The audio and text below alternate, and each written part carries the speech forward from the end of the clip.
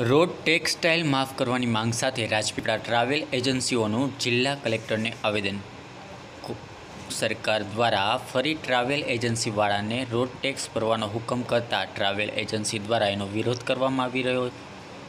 જેઓનું કહેવું છે કે હાલ અનલોકમાં પણ પ્રવાસન સ્થળો બંધ છે, જેને લઈ કોઈપણ પ્રકારનો પ્રવાસ પ્રવાસીઓ માટે ન થતાં બસો અને લક્ઝરી બસો પણ નોન યુઝમાં પડી રહી છે. માટે આ ટેક્સ પોસાય તેમ નહીં. માટે રાજપીપળા ટ્રાવેલ્સ એજન્સીઓવાળા રોડ ટેક્સ માફી આપવામાં આવે. એ બાબતનું એક આવેદન નર્મદા જિલ્લા કલેક્ટરને આપવામાં આવ્યું હતું. રિપોર્ટર જુનેદ ખત્રી.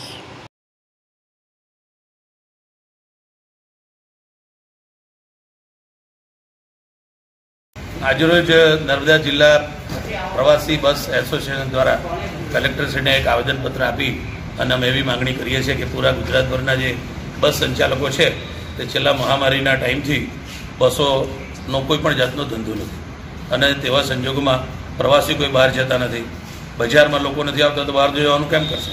તો એવા સંજોગોમાં બસનો ટેક્સ સરકારશ્રી તરફથી પાછલા છ મહિના તો માફ કરવામાં આવ્યો, પણ આ પચીસ તારીખથી જે એડવાન્સ ટેક્સ સરકારમાં આ લોકો જમા કરવાનું કહે છે, તો ગુજરાત સરકાર આમાં ઘટતું કરે અને બસ તરફી નિર્ણય લઈ અને આવનારા હજુ લાંબા સમય સુધી નોન યુઝ અંગેનો ટેક્સ એડવાન્સ ન ભરવો પડે અને બસના ટેક્સો માફ કરવામાં આવે એવી અમારી માંગણી છે. નામ?